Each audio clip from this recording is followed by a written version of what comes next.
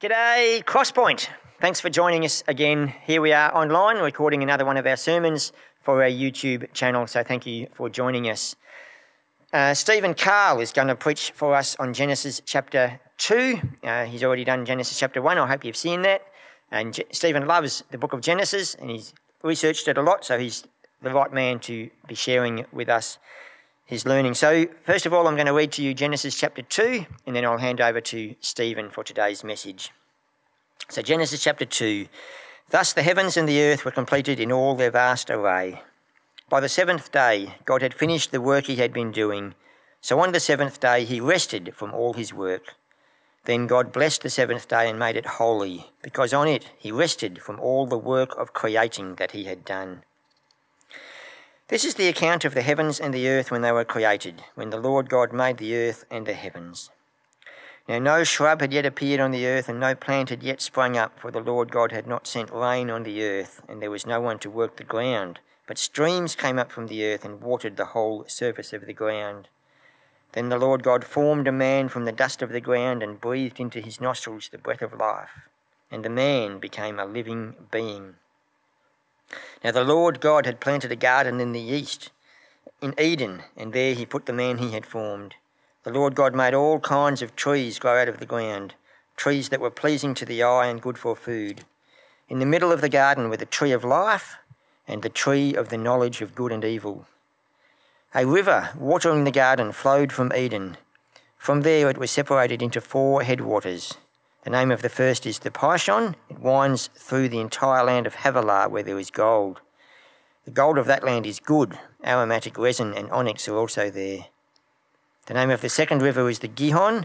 It winds through the entire land of Cush. The name of the third river is the Tigris. It runs along the east side of Ashur. And the fourth river is the Euphrates. The Lord God took the man and put him in the Garden of Eden to work on it and take care of it. And the Lord God commanded the man, You are free to eat from any tree in the garden, but you must not eat from the tree of the knowledge of good and evil, for when you eat from it, you will certainly die. The Lord God said, It is not good for the man to be alone. I will make a helper suitable for him. Now the Lord God had formed out of the ground all the wild animals and all the birds in the sky. He brought them up to the man to see what he would name them, and whatever the man called each living creature, that was its name. So the man gave names to all the livestock, the birds in the air, and all the wild animals. But for Adam no suitable helper was found. So the Lord God caused the man to fall into a deep sleep, and while he was sleeping, he took one of the man's ribs and then closed up the place with flesh. Then the Lord God made a woman from the rib he had taken out of the man, and he brought her to the man. The man said, This is now bone of my bones and flesh of my flesh.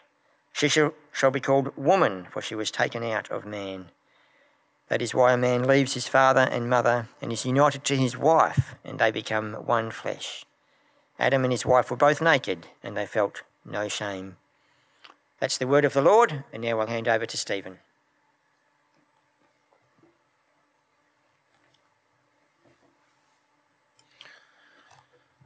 Thank you, David. It's an honour and a privilege to bring the message today. Genesis chapter 2. Last week we looked at the six days of creation and also the six stages of evolution. Just recapping quickly day one, God created light. Day two, God put a firmament or a gap between the waters, creating the sky in between. Day three, God created the waters, sorry, gathered the waters, creating seas and dry land, and then he created vegetation. Day four, God created all the heavenly bodies in the universe. Now, if you remember back to that last one, the word universe means a single spoken sentence. Day five, God created the sea creatures and the birds. Day six, God created the land animals and insects, and finally, mankind. At every stage, God called his work good. But when he had finished, he called it very good. Now we pick up at the start of chapter 2. the first verse declares that the whole of creation is finished. Then God rested from all the work that he had done. Verse 3 God blessed the seventh day and sanctified it, because in it he rested from all his work which God had created and made. The word Sabbath is used in the Bible over 150 times. God, right at the start of time, established the Sabbath day as a day of rest. Society these days doesn't rest. We're always doing something. How many of us just go home and rest after church on a Sunday afternoon? We are all too busy. And I must admit, I have to stick my hand up for that as well. Who can remember when the shops weren't open on a Sunday? Or who can remember when most people uh, went to church on a Sunday? What about having a Sunday roast after church and inviting people around to share it with you. People don't see Sunday as a holy day anymore. It's just another day off work to play sport, go shopping, work around the house. I would suggest that we need to go back to having it as a day of rest. Verse 4 and 5 then does a quick recap of creation. In the day that the Lord God made the earth, that's day 2, and the heavens, day 4, it hadn't rained on the earth. Now, I think this is interesting that it mentions this, that no rain had fallen on the earth. After all, the earth was only a few days old. Verse 6 talks about the mechanism that God put in place to water the earth.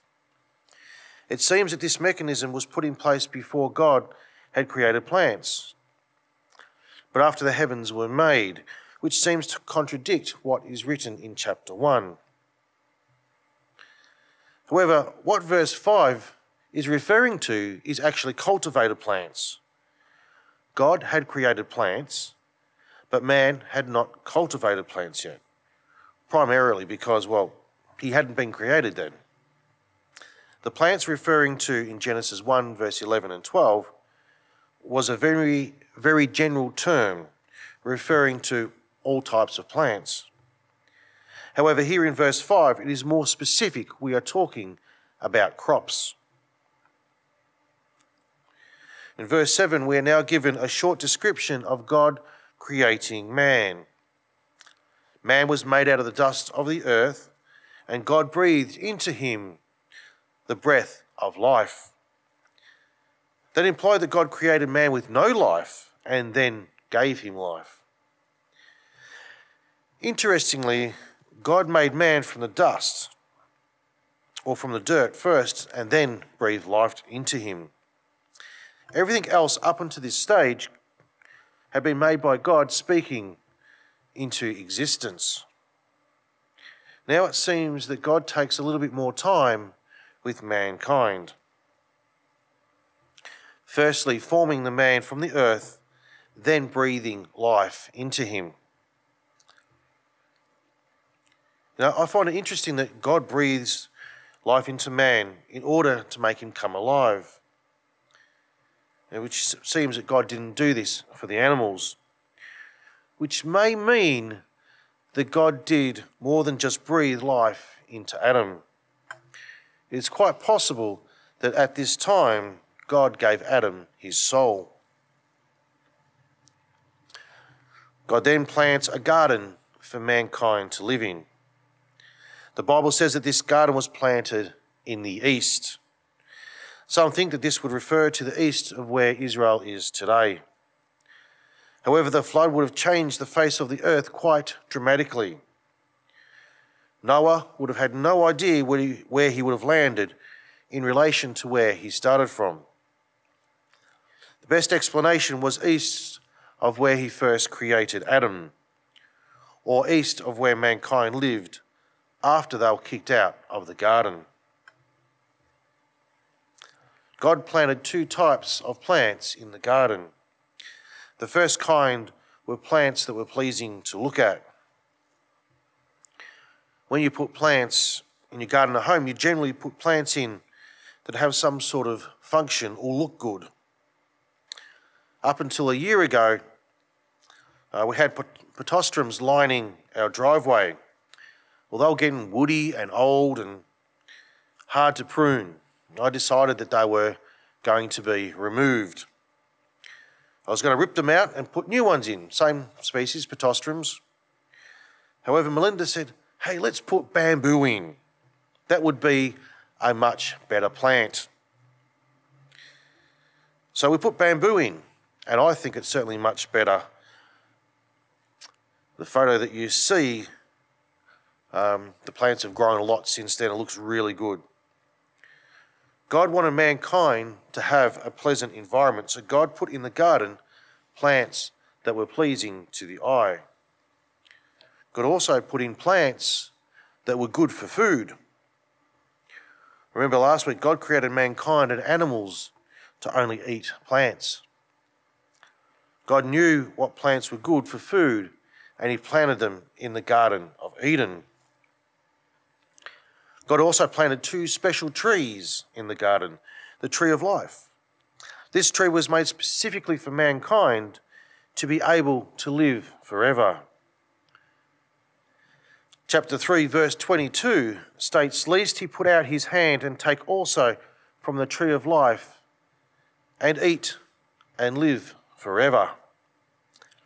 Mankind needed to eat from this tree in order for our physical bodies to remain alive forever. The second tree was the tree of knowledge of good and evil. It was thought to be more of a symbolic tree. It represented mankind's obedience to God. The reward for being obedient to God was eternal life. Well, mankind broke that law, which meant mankind had to, sac- had to make sacrifices of living animals in order to receive forgiveness for our sins. Sin brought death into the world. Then God had to use Jesus as a sacrificial lamb in order to enable us to have eternal life. Verses 10 to 14 talk about a river coming out of the Garden of Eden. This river divides into four rivers the Fishon, the Gihon, the, the or known as the Tigris, and the Euphrates. Interestingly, the river the rivers divide. Now, this doesn't usually happen. Most of the time, it's the rivers actually coming together to form a bigger river. A good example of this, for those of us who live here in Victoria, is the Murray Rivers and the Goulburn Rivers coming together. The Euphrates and the Tigris Rivers in modern day Iraq are not believed to, by some to be the rivers mentioned in the Bible. The rivers run into each other rather than dividing. Or, in other words, the water is flowing the wrong way to be the same rivers. The modern day Euphrates and the Tigris rivers are most likely rivers that were just given the same name. Just like parents sometimes name their children after themselves or after their grandparents or some other relative or a celebrity or someone else that they know because they like the name. In verse 15, God puts man in the Garden of Eden. However, God gave a man a job to do whilst he was in the garden. He was to tend it and to keep it. God had planted this beautiful garden, and mankind was to keep it that way. You know, I think that we would still be trying to look after the planet just like Adam was instructed to look after the Garden of Eden. So God puts Adam in the Garden of Eden, and Adam is told that he can eat of the fruit of any tree in the garden. Remember in verse 9, God had only put trees in the garden that were either pleasant to sight or good for food. Then gives Adam the instruction not to eat of the fruit of the tree of knowledge of good and evil. You see, God didn't want robots. He didn't want mankind to be a servant, blindly following God's laws. He wanted us to have the freedom of choice. God could have left out of the garden the tree of knowledge of good and evil. That would have eliminated the possibility of sin. But we see here that God loves us and wants us to be obedient to Him. Not because we have to, but because we want to be obedient. God did say to Adam that if you eat of the fruit, you shall die. Most translations say that the day you eat the fruit, you will surely die. The death here is referring to the death of the immortal body, in essence, dying and being replaced by a mortal body. Romans chapter 6, verse 23 says that the wages of sin is death. It was a case here as well. Man was to live an immortal life. But if mankind sinned by eating the fruit of the tree of knowledge, then death would follow at some stage. So here we have Adam in the Garden of Eden, and there is plenty of food around him, and things are just great. However, God sees an issue. The job of caring for the Garden of Eden is probably, probably going to be a big job, so God decides that Adam needs a helper. Now we see once again the passage referring to creation, specifically, specifically days 5 and 6, where God created the birds and the animals. God brought the animals and birds to Adam to see if one of them could be a helper, and also for Adam to name. Now, some people have an issue here with this, as there are so many species of animals on the planet. How could Adam name all of them in one day? Now, this was day six, and we'd have already had a lot going on.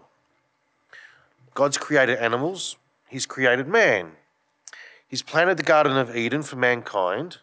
He's placed Adam in the garden, and now Adam needs to name the animals. Well, the Bible is quite clear that Adam was naming all the kinds of animals, not the species. For example, there are about 40 breeds of cats, or 40 species of cats. And of dogs, we're looking at about 450. Now, Adam didn't need to name them all, he just needed to call them cats and dogs. There is believed to be around uh, 1,500 kinds of animals and birds.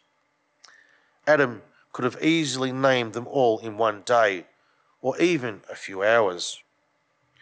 Now we need to remember God made Adam which means Adam would have come fully programmed.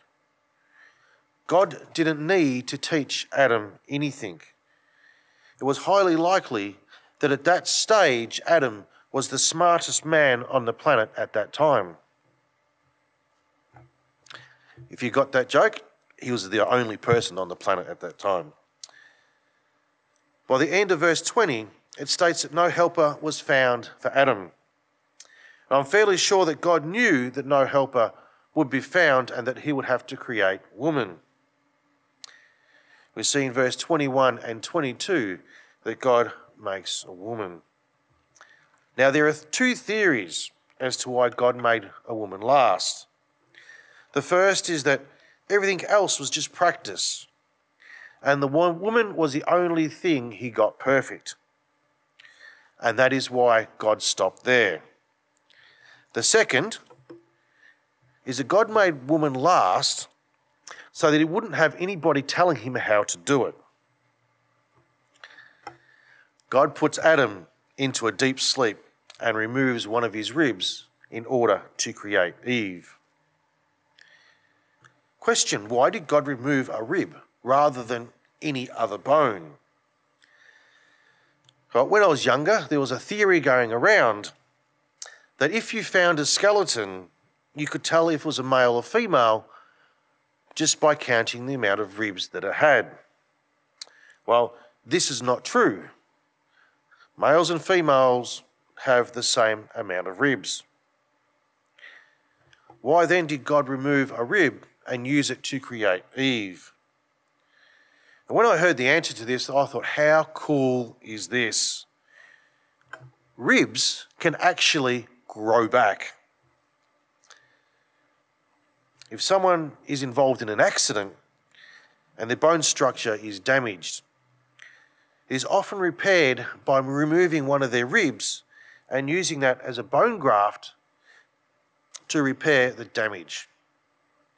Now, if there's a lot of damage, then they can remove the rib, wait for it to grow back, remove it again, and keep repairing the damage. Now, if you go onto the website creation.com and type in the words regenerating ribs, you will see a story by or from Dr. Carl Wieland about his car accident and how the surgeons used his ribs to restructure his damaged bones. Now, after the creation of woman, creation is complete. The world is very good. The animals and mankind live in peace, and there is no evil in the world. Too bad it didn't say that way. Let's have a look at the Garden of Eden, what it would have been like, and then I'll finish up. In verse 7 of chapter 1, God separates the waters and creates a firmament above the waters. And I said in the last sermon that that was very important. Verse 20 talks about the birds flying in this firmament. So there was a layer of water above the earth. This would have had three major effects on the earth. It would have increased the air pressure. So breathing would have been a lot easier. It would have given the world a greenhouse type of effect, and it would have blocked out the harmful UV rays from the sun. The blocking of the UV light from the sun would have been a major reason why people and animals during that time would have lived to such immense ages. We are constantly being bombarded by UV light, which is causing us to age. Back before the flood, the earth would not have had that problem. Some Christian scientists say that it would have also given a magnifying effect. So the night sky would have been a much, much clearer, and you could have seen the stars a lot better. We just looked at verse 9 of chapter 2, in which God planted the most desirable plants in the Garden of Eden. Verse 25 states that they were both naked. This would mean that because Adam and Eve didn't need clothes, that the temperature of the garden would have been neither too hot nor too cold. There were all types of animals in the garden. Remember in verse 15, God put Adam in the garden, and then in verse 20, brought the, Adams, uh, the animals to Adam to see what he would name them. This would have included dinosaurs. Now you might be thinking, well, there's no mention of dinosaurs in the Bible. There's actually a very good reason for this. See, in 1611, the Bible was translated into English. However, the word dinosaur wasn't invented until 1841. So you couldn't have used a word that was invented in 1841 in a document that was translated over 200 years earlier. Let's have a quick look at Job chapter 40. Uh, verse 15 says, Look at Behemoth, which I created with you. It then goes on to describe this animal. Verse 15, it eats grass like an ox. Verse 16, his strength is in his hips and the power is in his stomach muscles. So it has big hips and a big stomach. Verse 18, his bones are like beams of bronze and his ribs like bars of iron. We are talking about one very strong animal here. Verse 23 The river may rage, but he is not disturbed. Once again, uh, we are talking about a very strong animal. Now, most Bible commentaries would say that this describes a hippopotamus or an elephant. But if we look at verse 17, it says he moves his tail like a cedar tree. Cedar trees are very large trees. They can grow as tall as 60 metres. Verse 17 describes a very large tail. Hippos and elephants don't have large tails.